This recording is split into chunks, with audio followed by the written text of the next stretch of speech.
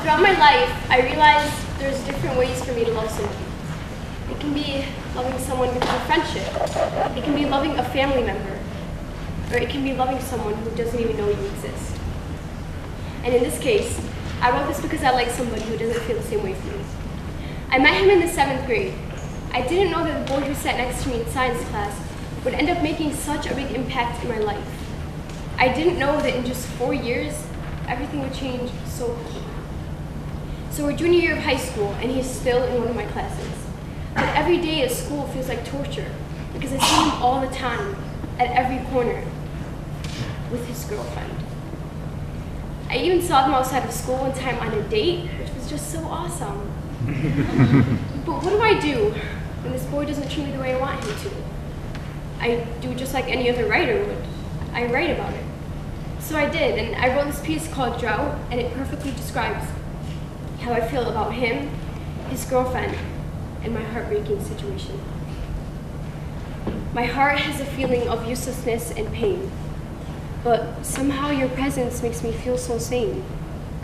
I bet it eases your pain to express yourself through art, but I hope you know I wrote this with a broken heart. I hate it when you avoid me because it makes me stressed out.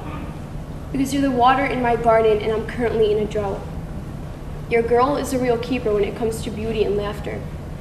But she won't write a poem like this because she has her happy ever after.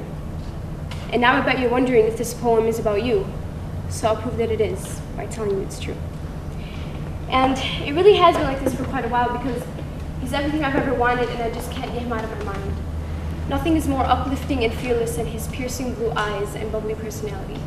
The fact that he isn't afraid of taking risks and lives his life by looking at it as an adventure. The way he's so focused on his work, especially when he's doing something he loves. Or how passionate he looks about what he's drawing during class. His love for music, singing, and acting. We have so much in common and he doesn't even know it. And he's so different than anyone I've ever met. The fact that I can't have him makes me feel hurt, hopeless, and empty. The poet R.M. Drake wasn't lying when he said, we feel empty because we leave pieces of ourselves in everything we used to love. And looking back at what I've done, I guess that's why I feel so empty. But somehow, this boy taught me that love doesn't always mean brutal burning, but bright sparks that can start a wildfire of compassion and dedication. Because love is faith. Love is my relationship with God. I become a better person every day thanks to Him. And when I feel so alone and feel like nobody understands me, I know God does, and I know I have Him to guide me through my life, my choices, and my decisions. I've learned to love my failures because they've always led me to an opportunity much better. And I love that everything I wanted didn't happen because it led me to something that I didn't know I would ever want. And God was in control of all of that, and that's why I love God. This boy also taught me that I should love myself even more because getting heartbroken made me find freedom and the capability to look back at my mistakes and use them to better myself. He's made me learn that it's important to value the love I have for myself as well as the people around me. There's nothing wrong with knowing my worth and what I truly deserve. Lastly, sport taught me that nothing lasts forever except love. And I know there will be more of it.